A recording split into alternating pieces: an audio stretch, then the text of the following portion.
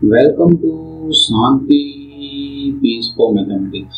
In this video, we are discussing about the Fourier series of the function exponential e power x in the interval minus pi to pi, which is a periodic function.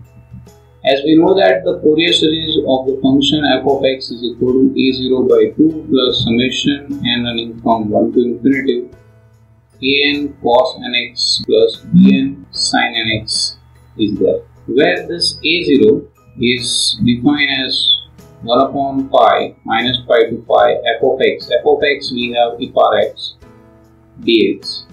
So it is 1 upon pi. The integration of e power x is e power x. And the limit is minus pi to pi. So that's why it is e power pi minus e power minus pi.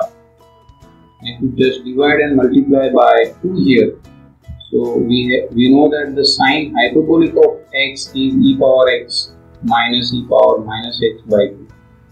So this value is nothing but the 2 times hyperbolic of x. So that's why it is 2 by pi sine hyperbolic of pi. So that is the value of a0 we have. Next, en that we know that it is 1 upon pi minus pi to pi f of x cos nx. f of x is e power x into cos nx dx is there. Now how to integrate this? We cannot use here integration by parts due to the mm, this is never ending process in that in that situation.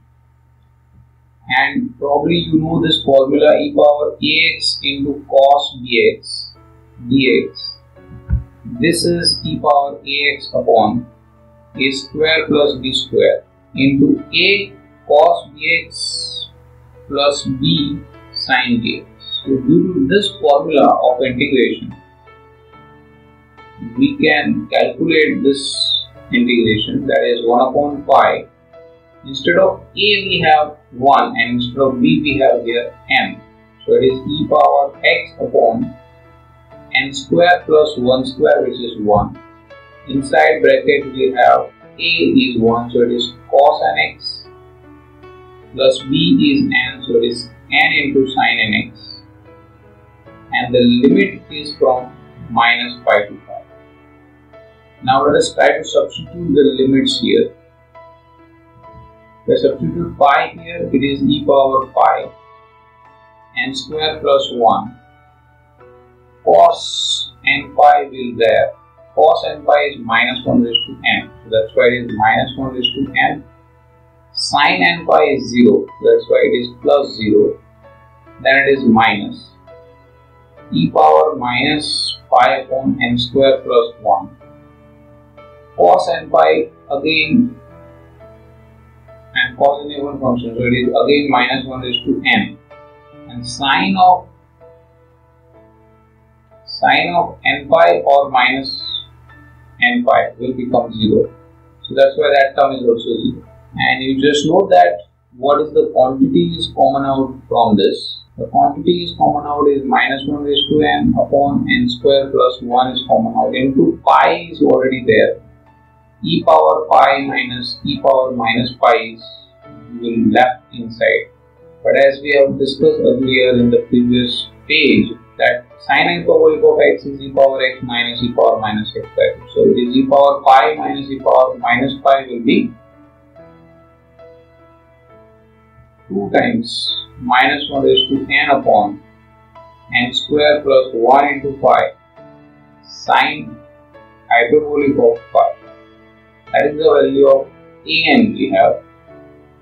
Now let us calculate what is Bn. As per the formula, it is 1 upon pi minus pi to pi e power x sine nx dx.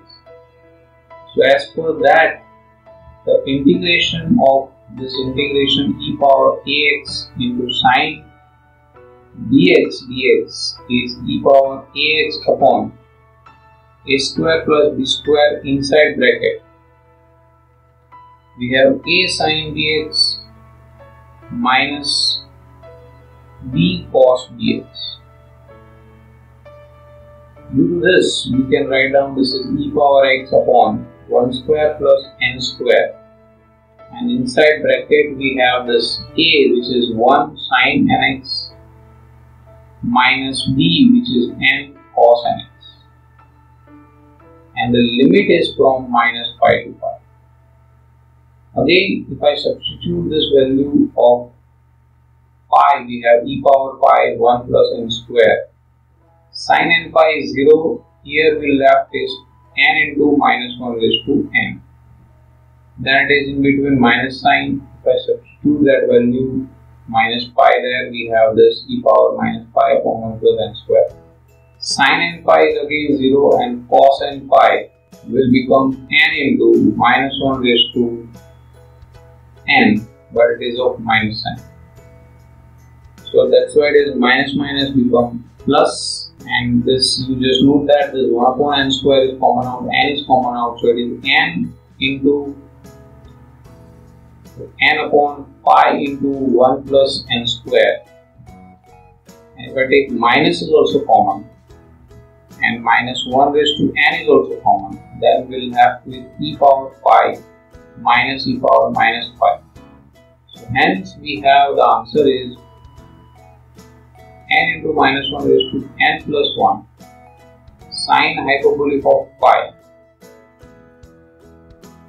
2 times upon 1 plus n square into pi.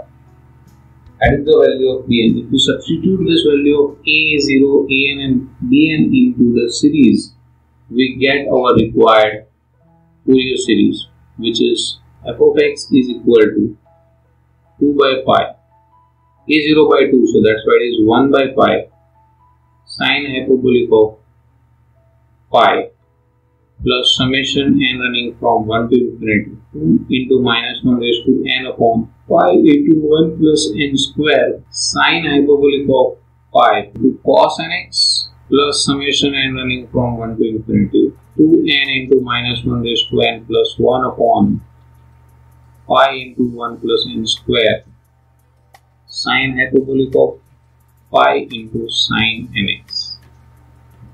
That is the required answer that's it for this video. If you like this video, please press the like button. If you have any comment, suggestion or question, please drop down in the comment box below. See you next video. Till then, bye bye.